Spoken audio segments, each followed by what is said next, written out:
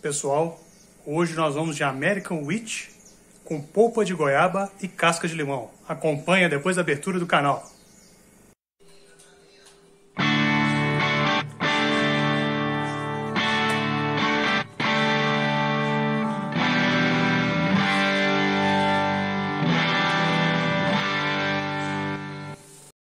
Salve, salve pessoal! Mais um vídeo da família Net Cervejas Artesanais e hoje nós vamos fazer o estilo American Witch, uma cerveja de trigo com pegada americana, ok? E para deixar mais bagunçada a nossa história, vou adicionar polpa de goiaba e casca de limão. Então o panorama da nossa receita é que nós temos 2 kg de malte pilsen e meio kg de malte de trigo. Eu vou colocar 100 gramas de açúcar cristal só para poder ajudar a subir um pouco a OG mas não é necessário. Você poderia complementar com mais uns 300, 400 gramas de malte Pilsen, tá bom? A água já está aquecendo ali. Coloquei 15 litros de água para aquecer. Vou adicionar os, os maltes daqui a pouco, mas vou adicionar os 50 graus, misturar um pouquinho e vou subir até os 65 e deixar por uma hora, tá bom? Sobre o lúpulo, eu volto daqui a pouco, eu vou ver o que eu tenho no estoque ali. A ideia é como já vou colocar limão, já vai dar essa pegada cítrica no final da receita, quero colocar um lúpulo só para poder é, ajudar no amargor. Se eu tiver alguma coisa interessante ali para ajudar no aroma, eu já volto daqui a pouco, tá bom? Então daqui a pouco a gente volta com mais informação da receita. Aí pessoal, já estamos chegando perto de uma hora 65 graus. É, arriei os maltes com 50 graus, fui mexendo e subindo a temperatura até chegar aos 65. Aí permaneci uma hora perto dos 65 graus, tá bom? É, a terminar o tempo agora eu vou subir para 76, 78, fazer um mesh out. Vou fazer a lavagem com 7 litros de água. É, suspender o bag, fazer a lavagem. A lupulagem decidiu para o Centennial. Ele está com, tá com ácido alfa de 9,8. Eu vou adicionar 20 gramas na receita, vocês vão ver que vai estar escrito que faltando 15 minutos para o final, mas como eu faço no chill, então eu vou atrasar mais 15 minutos. Vou adicionar no final, a hora que eu for fazer o irpu, com ele quente mesmo. Aí eu vou colocar o centênio, a casca de limão.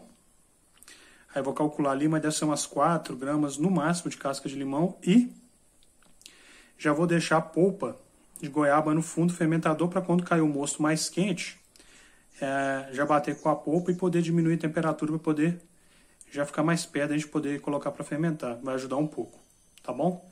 Então daqui a pouco eu volto com uma nova etapa aí. Aí pessoal, estamos chegando perto de 76, 78 graus para fazer o mesh out, né? Só para aproveitar para fazer o registro, que eu estou sempre vacilando esquecendo, agradecer novamente ao Armazém Cervejeiro, www.armazencervejeiro.com.br não tem o ponto .br, tá? É, no, na descrição desse vídeo, de todos os vídeos do canal, geralmente tem o telefone do Alexandre Rezende. Manda para ele no WhatsApp, liga para ele. Preços ótimos, competitivos, envia para o Brasil todo, tá bom?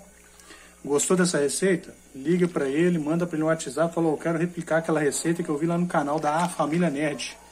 Então é só avisar lá, tá bom?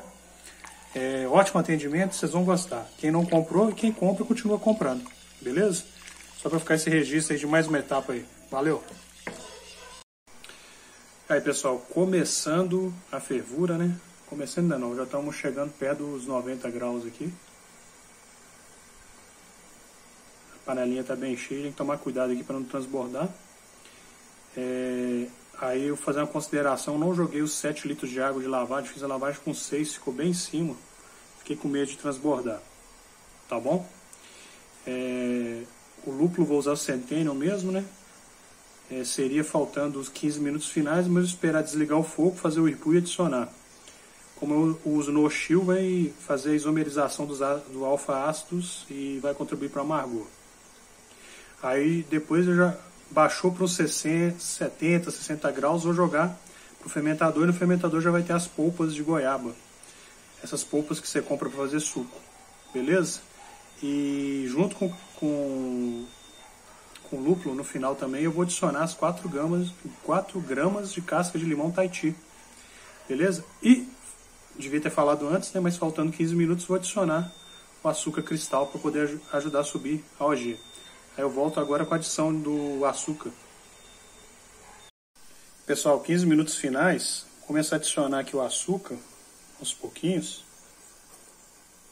E aí a gente vai para mais 15 minutos de fervura.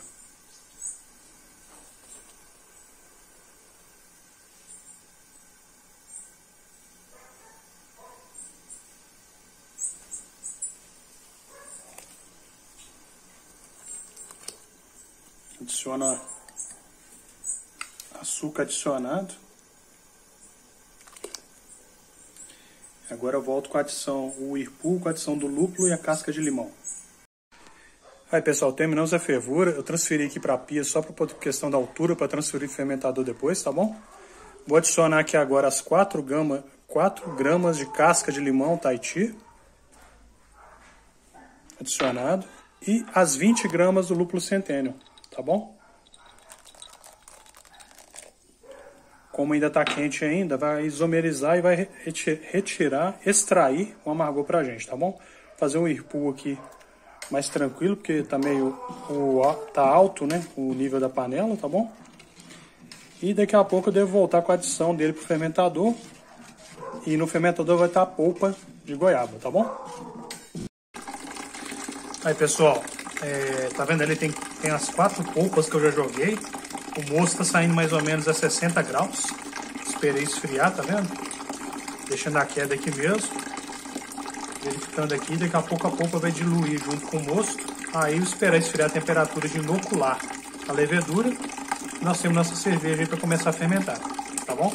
Só para poder ficar registrado, dá para ver mais ou menos aqui a cor que a cerveja ficou. Bem clarinha, acho que bem no estilo mesmo da American Wheat beleza? Aí fica registrado e eu vou voltar com a densidade da cerveja daqui a pouco.